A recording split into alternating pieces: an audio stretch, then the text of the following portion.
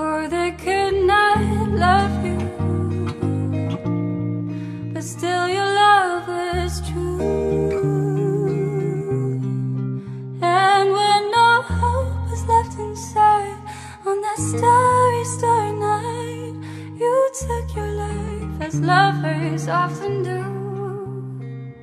I could have told you, Vincent, this world was never meant as beautiful as you.